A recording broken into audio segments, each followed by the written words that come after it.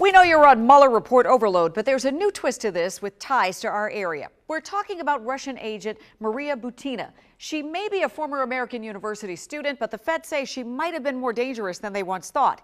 Did she have a direct connection to President Trump's inner circle? Mike Valerio has that update tonight.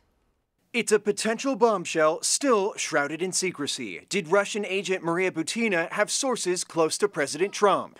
It was just after the election in November 2016. And in a new court filing, prosecutors write that Butina provided a Russian official with the name of a potential Secretary of State nominee and asked for Russian government input on that name.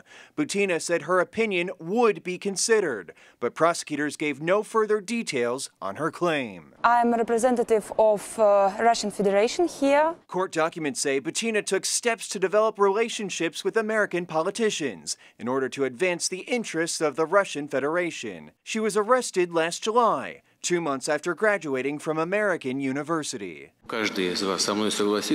Russian President Vladimir Putin said Butina had no ties to the Kremlin, but she pleaded guilty to acting as an unregistered foreign agent of the Russian state.